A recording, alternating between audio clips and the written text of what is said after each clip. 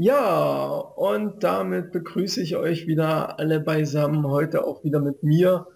Aprisos, da ich gestern nicht da war. Wieso nein? Wieso fest mir zu?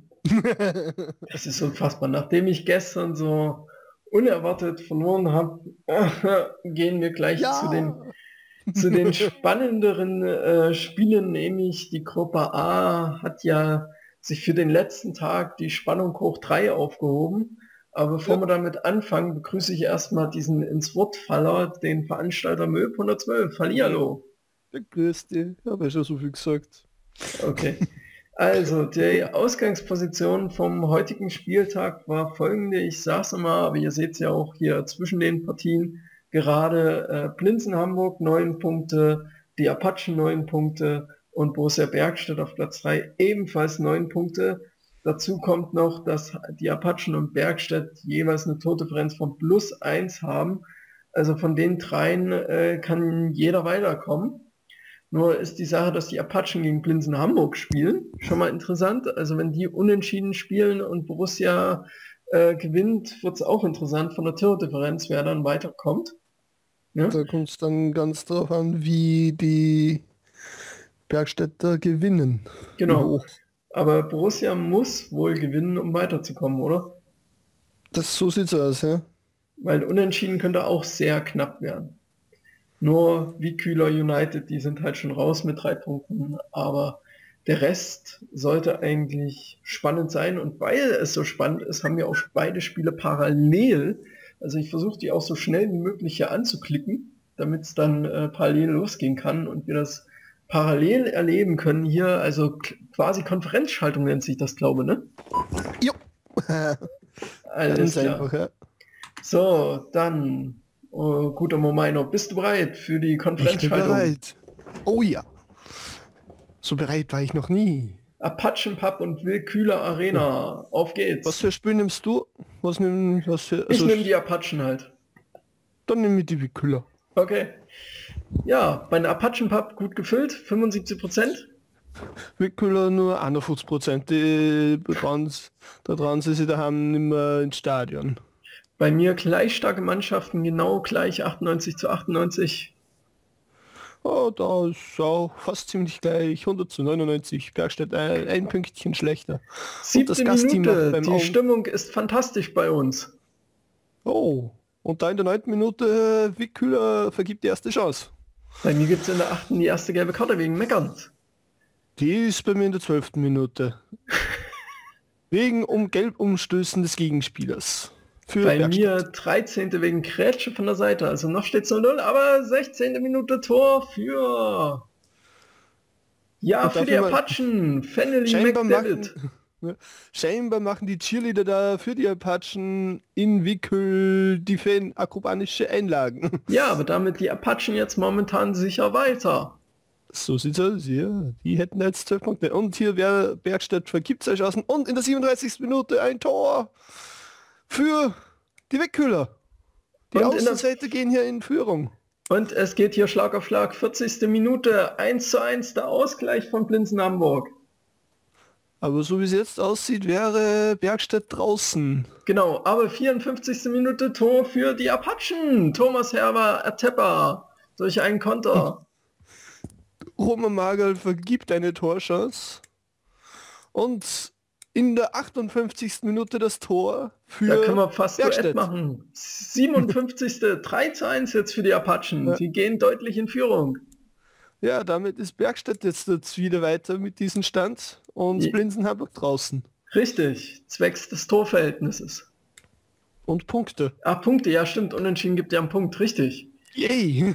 75. Minute. Zeit gelbe Karte und bei mir war der Abpfiff, somit da ist nichts mehr passiert. Wie sieht's bei dir ja, aus? Ich habe noch eine gelbe, ich habe noch ein paar gelben Karten jetzt in der 83. und 75. mit 91. wieder eine gelbe Karte.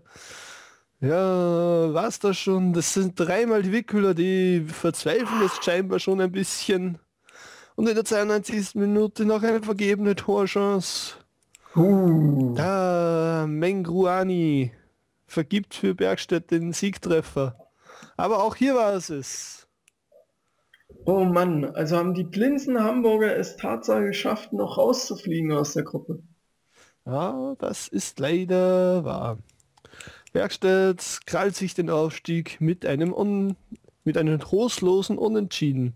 Zittert sich zum Aufstieg. Was anderes kann man dazu nicht sagen. Es wird gezittert und gebippert und trotzdem schafft man das gerade so im letzten Spieltag auf den letzten Drücker. Meine Güte. Genau. Und das mit sechs Chancen, wie man sieht. Meine Güte, ey.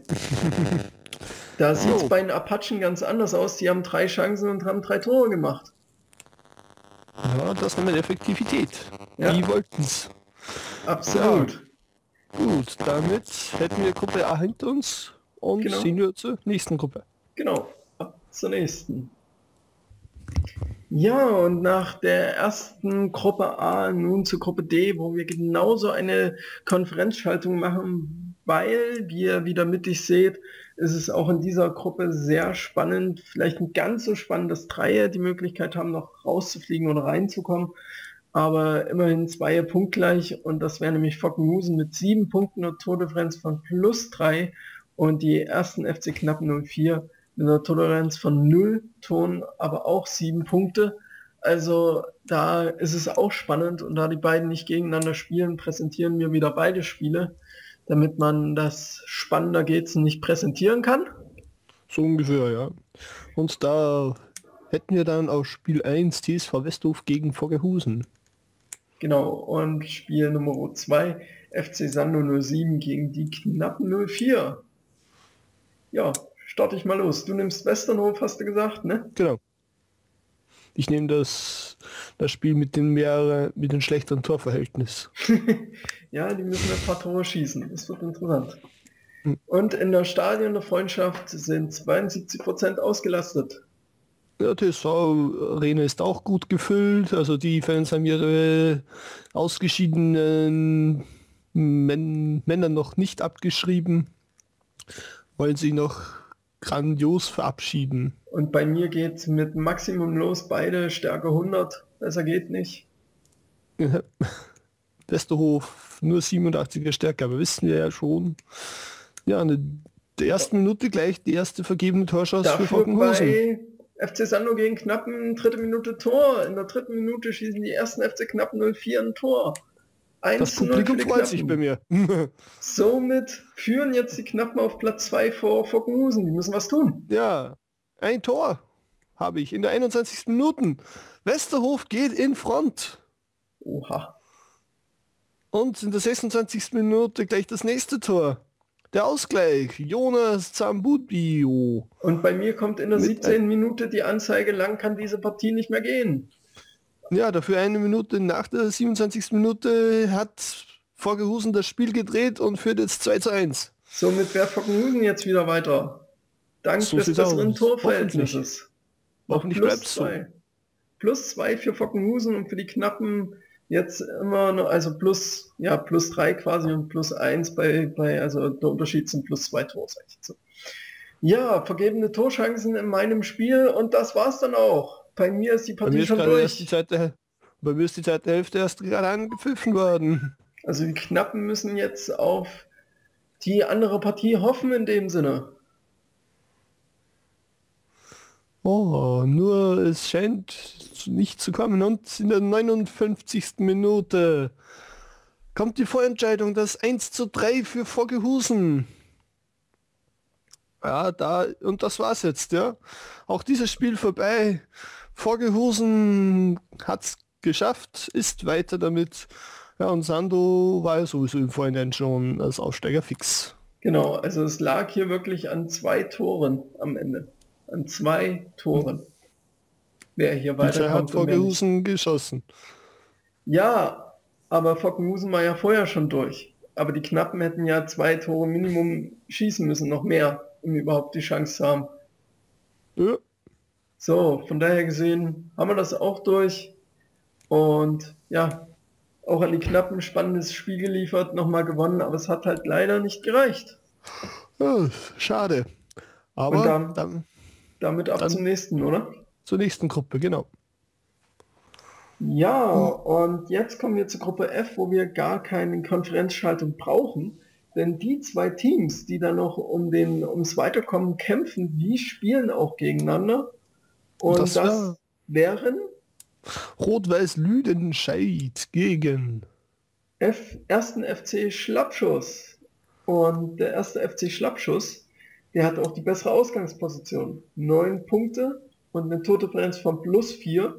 Und Rot-Weiß Lüdenscheid von einer Totefrenz von sieben Ton, äh, sieben Punkten und einer Totefrenz von minus zwei. Also Lüdenscheid muss gewinnen, um weiterzukommen. Schlappschuss reicht auch ein Remis. So sieht's aus, genau. Mit dieser, äh, würde ich sagen, Heißmacherei vom Spiel ab ins Spiel an sich. Oh, wieder ein Geisterspiel. Was machen die denn? Stadion ausbauen, umbauen, ja. renovieren. Reparieren. Ja. Oder Nattenberg, Nattern, Nattenberg, das ist voller Nattern, vielleicht deswegen wegen Schlangen gesperrt. Naja, da fehlt ein R aber dafür. Und in der vierten Minute das 1 zu 0. Für Schlappschuss. Ja, damit sind sie jetzt sicher weiter, wenn es so bleiben sollte. Genau. Unruhe im Publikum. Welchen Publikum? Ja, ne, genau. Das Geisterpublikum oder äh, ich weiß nicht. Die Linienrichter, zählen die da zum Publikum? Vergebene Torchancen, das war die erste Halbzeit. Oh Mann. Von Lüdenscheid muss hier was kommen. Ja, tut aber nichts. Eine Torschuss wieder für Schlappschuss. 63. der Ausgleich. Uh. Jetzt wird es nochmal spannend. Lüdenscheid braucht noch ein Tor und ist weiter. Kann man das noch von Spannung überbieten? 91. Minute. Uh. Und das ist die, der Siegtreffer für die Schlappschüsse. Oh. Der Schuss war nicht so schlapp, wie die Mannschaft heißt. Ich habe jetzt wirklich gedacht, das wäre es jetzt in 90 Minuten so mit der letzten Aktion noch weiterkommen. oh Mann, da, da ist jetzt aber das Herz schneller gegangen, ey. Holla, die Waldfee. Ja. So, so kann ich FC Schlappschuss, meinen Liebling in dieser Saison, weiter noch äh, begrüßen und weiter kommentieren. Das freut mich wirklich. Aber auch an Lüdenscheid. Äh, es war knapp, und vielleicht wird es nächste Saison dann mit dem Weiterkommen was. Ne? Genau. Äh, neues, neues Ziel, neues Glück und genau. so. Genau, und damit kommen wir zum letzten Spiel des heutigen Tages, oder? So, genau. Das da. Ja, und jetzt kommen wir zu meiner Gruppe, wo ich sicher durch bin, obwohl ich auch das letzte Spiel verloren habe, aber trotzdem die Punkte reichen halt schon, um sicher durch zu sein.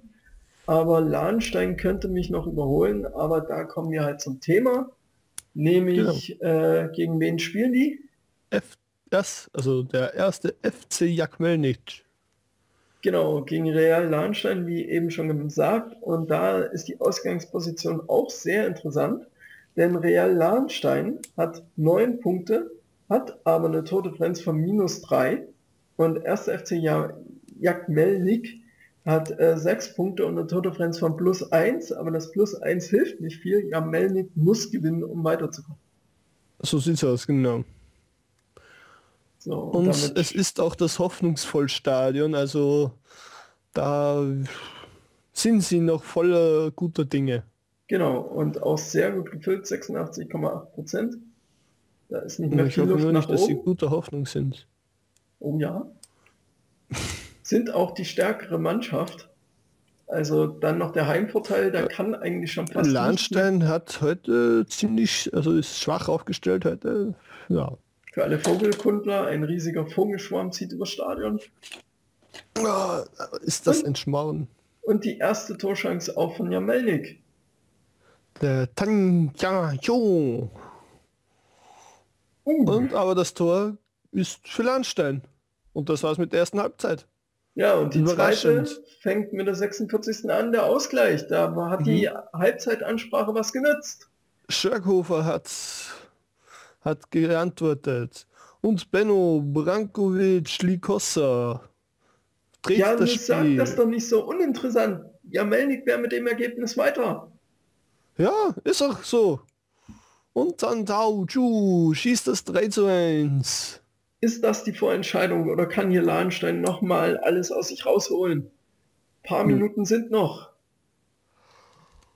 Aber die Zeit läuft für Jamelnik. Na, jetzt wird es schon richtig schwer. Und Tor, Und noch 74. ein Tor. Da ist der Anschlusstreffer durch Jörn Svendin. Aber das war's auch. Zu spät gestartet. Absolut. Also Schade, Landstein nicht mehr geschafft. Glückwunsch, Jack Melnik, zum Weiterkommen in dieser Gruppe. Und Lahnstein, ja, es war knapp, aber man kann auch am letzten Spieltag noch aus der Gruppe rausfliegen. So geht das halt ja, manchmal. Leider. Das, das ist, glaube ich, schon... in Hamburg heute mit, also zu mitbekriegen müssen. Leider. Ja, und ich würde sagen, damit kommen wir auch gleich zu den Spielen und Ergebnissen.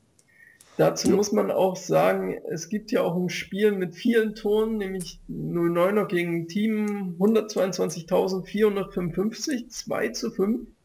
Da hat es auch ganz schön gerappelt in der Kiste. Genauso, Genauso wie bei Chesapeake, das kann man auch mal erwähnen, die haben 0 zu 4 gewonnen. Oh, und auch, ja, da, dann hätte auch du hast heute noch knapp gewonnen, hast dich noch durchringen können. Ja, und du hast nur ein läppisches Unentschieden gespielt, ein torloses. Naja, ja. naja, naja. Aber gehen Torschancen waren genug da, die Tore sind halt nicht gefallen. Genau, gehen wir mal durch, wer so weitergekommen ist. Also Gruppe A haben wir gezeigt, Apachen und Bergstedt. Gruppe, Gruppe B bist B du dran. ist dann 09er mit der einzigen negativen Tordifferenz ja. und Botropolis. Und das auf Platz 1, das finde ich schon eine Leistung.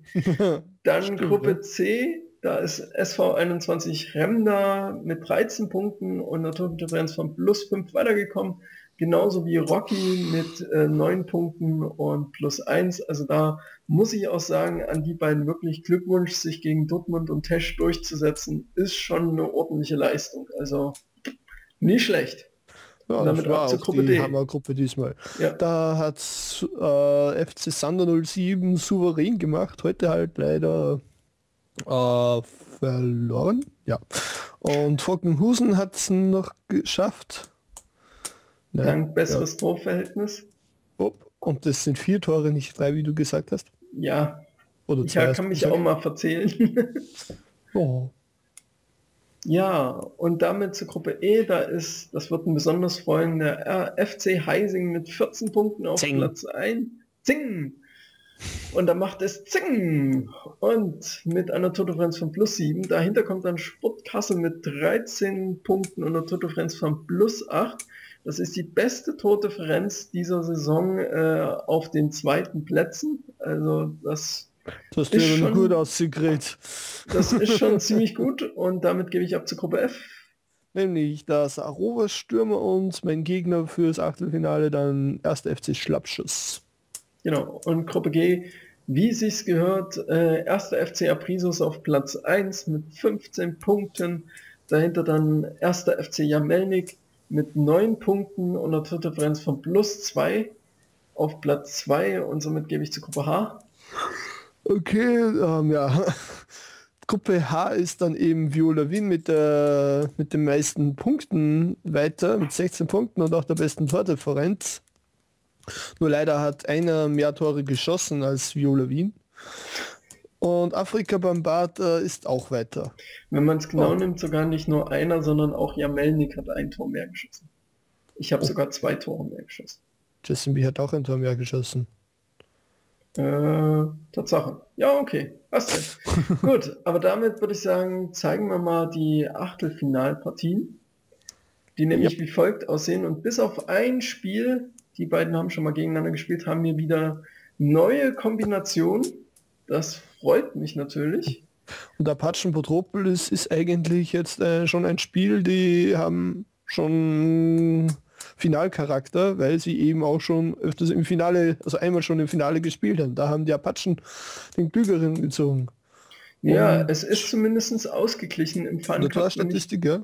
Wenn ich das hier mal so angucke, also zwei gewonnen, ein Unentschieden, zwei Niederlagen, also das ist ein Spiel, was 50-50 ausgehen kann. In letzter Zeit hat hier eher, ja, Petropolis hat gewonnen und unentschieden.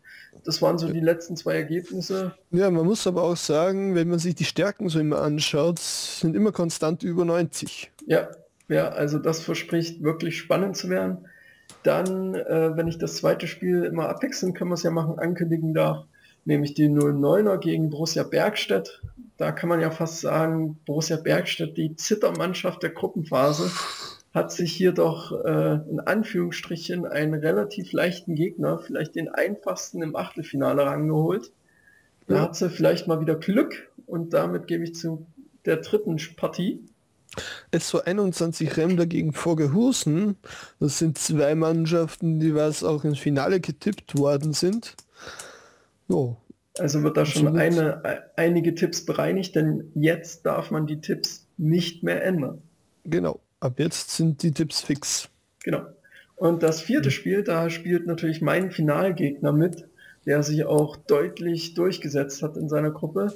Der FC Sando 07 gegen FC Rocky 41, da freue ich mich auch drauf. Und dann kommen wir zu deinem Spiel. Ja, und ich darf gegen, also FC Heitzing darf gegen den ersten FC Schlappschuss ran. Ja, mal schauen, wie ich das zusammenbringe da. Ich hoffe natürlich aufs Weiterkommen. Und dann äh, im sechsten Spiel die Saarrohr Stürmer gegen FC Sport Kassel 2012. Da, ja, da kann man nicht viel dazu sagen, dass die sind beide an die 100 oder genau 100. Da kommt dann, glaube ich, auch das Fünkchen Glück äh, zusammen. Also mal schauen, ich bin gespannt. Damit zu Spiel 7. Ja, da ist der erste FC Aprisus, der was gegen Afrika Bambata ausscheidet. Sehr gut. Und dann die Punktbeste ja, aus der Gruppenphase Viola Wien gegen ersten FC Jamelnik. Ja. Was, was soll man da sagen? Das wären unsere Paarungen. Genau, es dürfte spannend werden und auch äh, morgen werden wir wieder vier Spiele von den acht präsentieren. Und ja, das genau. wird es dann sein. Und ich denke mal, wir gehen noch zum Tippspiel, oder? Jo, da hat sich auch einiges getan. Genau, Die überraschende Dinge.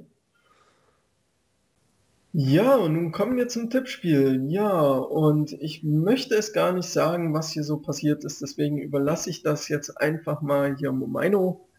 Also ich dachte, die den Arsch sagen, oder wie? Okay. Ich, ich, ich, also den besten Tipptag heute hatte eindeutig Chesapeake mit zweimal den richtigen Torergebnis sogar und immer den Gewinner, auch dann die anderen beide Male geschafft. Also oh. das hätte ich auch noch ansagen können, aber ich bezog das jetzt auf was anderes. Aber erstmal Glückwunsch an Chesapeake oder auch wie man ihn bei YouTube nennt, Sander Ghost oder kurz Sander.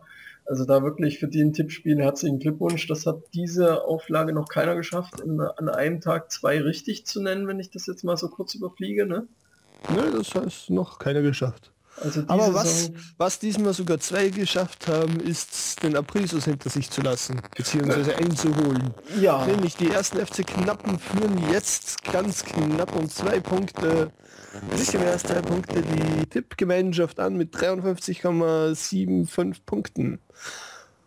Genau, und dann folgt der geteilte zweite Platz. Da, da das tut schon leicht weh, äh, nämlich Aprisos gegen Sando beide 51,875 und falls ihr euch jetzt wundert, wir haben äh, bei dem Tippspiel festgelegt, dass es nur bis zur dritten Nachkommastelle geht. Also wir wollten ja nicht, dass man dann die hundertste Nachkommastelle, dass die entscheidet. Wenn es halt punktgleich ist, dann ist es halt punktgleich. Bis auf die dritte Ebene und sonst genau. ist drauf gepfeifen. Genau. Ja. Und, und auf Platz 4, wer ist jetzt auf Platz 4? Der FC Tesch mit 49,773 Punkten. Genau, und knapp dahinter auf Platz 5 der heutige beste Tipper, nämlich Chesapeake mit 48,750, also auch nicht wirklich weit weg. Ja, und Platz 6. Da wären dann die Apachen mit 43,125. Genau, und, und die 7, das wären dann die Fockenhusen, die heute auch keinen Fehler sich geleistet haben und mit 41,875 auf Platz 7 sind. Ja, und an achter Stelle bin ich. Ich habe mir heute auch keinen einzigen Fehler geleistet. Welche Sensation auch bei Null Tipps. Jetzt ja. bleibe auf mit 40,5 Punkten eben Punkte gleich wie gestern, aber halt Volkenhusen hat mich überholt. Genau, und auch Viola Wien, wo du gestern so schön gesagt hast, die ist aufgewacht und tippt jetzt mit. Die wird bald, oder der, ich weiß ja nicht, ob der, die das, äh, derjenige wird dich das? auch noch überholen und äh, wird dir die rote Lampe übergeben und dann wirst du Probleme haben zu schlafen, geschweige denn aufzuwachen, wenn dir dauernd so ein Licht ins Gesicht scheint. Von ja, daher gesehen. Nee, ich, äh, ich sag mir immer, ich bin unter die Top 10 der Gemeinschaft und das reicht mir. Der war gut. Der war gut, ja. Ja, dann so. ein kleiner Blick noch auf die Final- und Gewinnertipps. Also Fockenhusen, die haben sich aber jetzt ins, ins Fäustchen gehämmert hier. Die haben nämlich ihre Partie, die jetzt im Achtelfinale läuft, genau angegeben als Finaltipp. Ja, also da werden sie, natürlich blöd, ja. werden sie hoffen, dass sie wenigstens weiterkommen, weil dann äh, würde vielleicht noch der Gewinnertipp hinhauen, aber der Finaltipp, der ist jetzt schon mal nicht mehr möglich. Deswegen. So Nee, nee, da brauchst du jetzt noch nicht Ach so, ja, weil wir ja diese Neuerung Weil wenn Volker Husen ja ins Finale kommt, kommen, bekommen sie ja trotzdem Punkte. noch die sechs Punkte. Genau. Ja, aber den Finaltipp, also den Gewinnertipp schon abhaken kann, ist FC. Tesch, Tesch, Tesch, Tesch, Tesch, Tesch, Tesch. Der zweite. Weil Blinzen Hamburg ist leider ausgeschieden. Richtig, genau. Da darfst du rot anstreichen. Genau. Wir streichen ja hier das, was nicht mehr möglich ist, zur besseren Übersicht rot an. Und oh. dann wisst ihr auch direkt, was noch möglich ist von euren äh, Tipps und was nicht. Ja. ja, sonst eigentlich alle weitergekommen. Ziemlich klar, teilweise sogar. Ja. Also da waren die, die, die, die Stimmung der Richtung der Tipps eigentlich soweit im Großen und Ganzen erstmal richtig. Genau. Ob sie sich dann auch am Ende als komplett richtig erweisen, wird man später sehen. Aber ich glaube, jetzt freuen sich alle auf das achte Finale und da, ab da wird es ja dann richtig spannend. Jo, ab jetzt geht es erst so richtig los. Genau, und beim Rückspiel, aber das werden wir morgen auch nochmal sagen, da kann man dann natürlich auch noch tippen, das ist ja auch so eine Neuerung, ob es Verlängerung gibt oder sogar Elfmeterschießen, aber ich glaube, da sagen wir morgen dann noch was dazu. Genau. Ja. Und Ansonsten würde ich es mal wieder zuerst abschließen, damit du deine Fußballweisheit wieder bringen kannst. Und ja, ich würde sagen, allen viel Erfolg dann äh, im Achtelfinale und an die Ausgeschiedenen. Versucht es nächste Saison wieder, versucht weiterzukommen und auch mal den Titel zu holen. Und ich hoffe, euch macht es auch weiterhin Spaß hier zuzusehen, auch wenn ihr vielleicht ausgeschieden seid.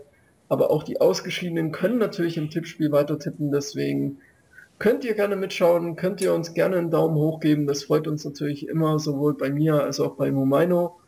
Oder ja. natürlich auch abonnieren, damit haben wir natürlich gar keine Probleme, dass ihr kein Video mehr von uns verpassen könnt. Und damit gebe ich ab zu Momaino und seinen Spruch des Tages. Ciao.